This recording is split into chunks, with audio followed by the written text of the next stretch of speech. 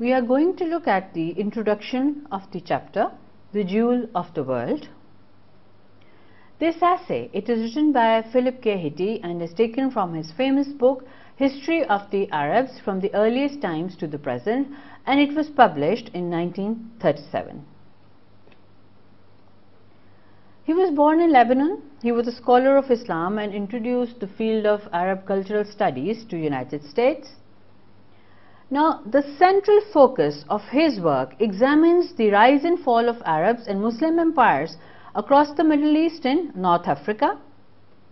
He is one of the most prominent historians of the world. Um, he has written many books on the history of the Muslims. According to him, it was the Muslims who gave rise to the European Renaissance.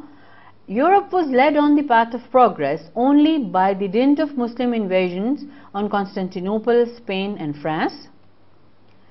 He, gives us a glimpse of the glorious civilizations of Muslims in Spain. The fame of the capital Cordoba has reached distant Germany where a nurse has described it as the jewel of the world. The city of Cordoba was the intellectual center of the West by the 10th century.